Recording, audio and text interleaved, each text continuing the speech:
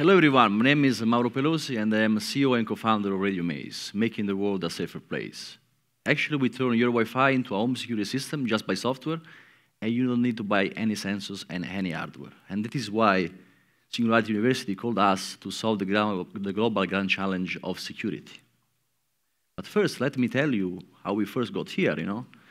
There we were, two professors on the way to teach hunting for words, and we published books, patents, hundreds of scientific publications. We, more than, we won more than 20 innovation awards, but the best was yet to come. In fact, one cold, cold night in Finland, we found out actually our uh, Wi-Fi test equipment was picking up some strange disturbances. After some investigation, we found out it was just a student uh, working late at night, passing through the lab. So, we found out that actually the human body disrupts the Wi-Fi. But this is not a problem. This is an opportunity. In fact, the human body is mostly made of water, 70%, and we absorb, reflect, and scatter radio waves in every direction. It's like when you put a stone in a pool of water and there are ripples. We can see those ripples, even if they are invisible. Wi-Fi is everywhere, actually, and that is why you don't need to buy any more a home security plan for $30 per month for ADT or some other legacy players for something that you already have. And this is why we can provide to you home security, leveraging the existing infrastructure, just 10 times cheaper.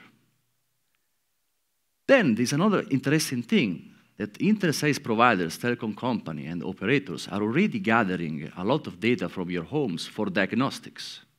But on top of that, there is also knowledge about motion of people around. What we do is to turn digital waste into actionable insight. So I will show you a little demo about how our analytics engine works and from the physical perspective, what happens to receive signal strength of the power of the router that every second is sent in your home. This is an experiment we've been running uh, at Singularity University Labs, where my co-founder Frank is just moving around, and we can see there that actually the receiver signal strength is affected by the human motion. If we want to go here to interpret the results, we can see actually that the resistance strength is very noisy. And this is why nobody has ever seen something out of it. But we have been able to crack the code. We have patented this algorithm two years ago. And actually, we can see the signal hidden in the noise. And we can see there that when nobody's in the room and when somebody's in the room, this is affecting the way the signal is propagating. But then, what is the importance of motion detection? You can get analytics and notification escalating in parallel so that at least one person can help you can uh, be your neighbors, can be your friends, your family members, can go and check. Because the one thing you don't want to do is to have a security system that does not have additional steps on top of that. One thing is to have knowledge of what is going on, one thing is to take action. But then we have made a beta testing in 100 homes, and users are keeping to tell us that there are some insights we didn't expect. Because when you have a home security system like that, in your Wi Fi router actually, you can start to make 24-7 uh, monitoring. And uh, what happens if you start to monitor your home also over one month? Have you been uh, sleeping more and more and moving less and less? Maybe something is going on, actually. So they call it a Fitbit for the home.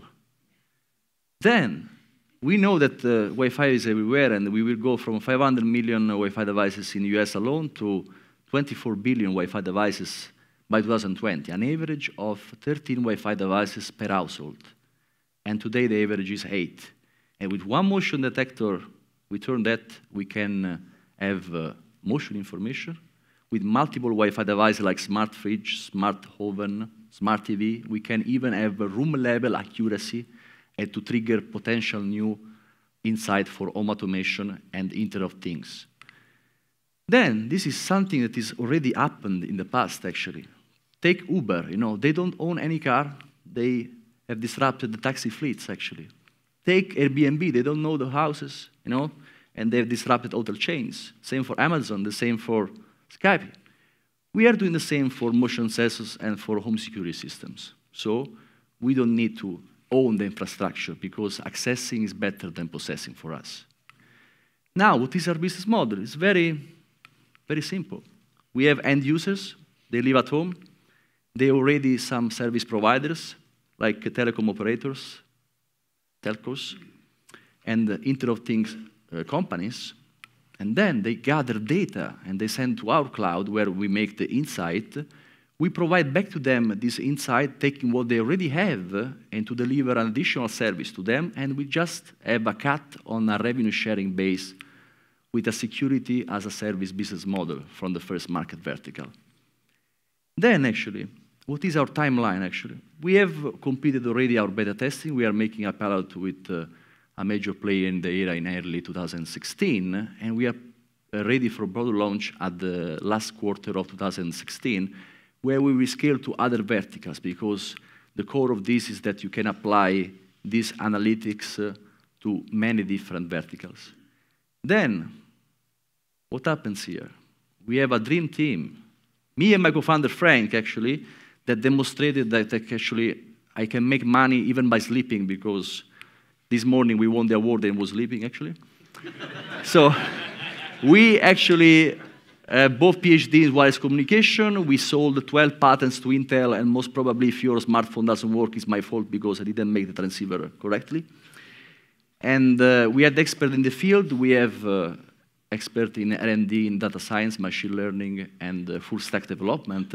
And we have experts in these verticals from business development to finance and uh, with the telecom operators. But then there is another thing here, is that we also won the CES award last January as the best product of the year in the software category. And again, as uh, Pascal mentioned, we won also the best European uh, award as a, a smart home startup in Helsinki uh, this morning. But then, you know, this is the time to join us because uh, if you feel like that you are exponential investors and you have a smart network and if you want to protect the world and if you want to make some big money in the process, please come to talk to us. Thank you so much for your attention.